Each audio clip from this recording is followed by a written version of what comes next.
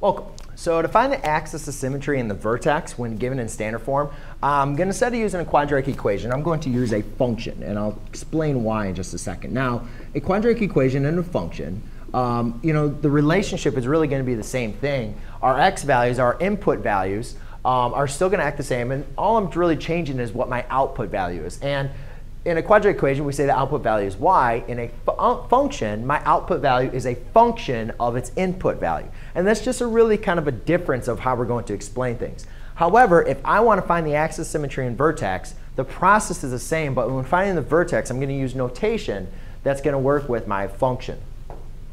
So if I want to find the axis of symmetry, now this is very, very helpful because a lot of times when we have a quadratic that's in Uh, our standard form, sometimes we have numbers that are not going to be easy to either factor it out or to convert it to vertex form. So to find the axis of symmetry, if you have decimals, fractions, or very large numbers, we can always apply this form, which x equals b, sorry, opposite of b divided by 2a.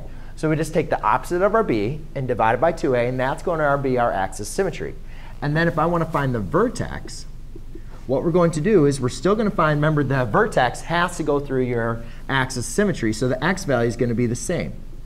Then, remember, when we created a table, what we did is we found x values, we plugged them in, and then we found the y value. Well, for a, we're going to do the exact same thing. So we're going to plug this in for our x and then find the y. So I'm going to represent that by using function notation of opposite of b divided by 2a.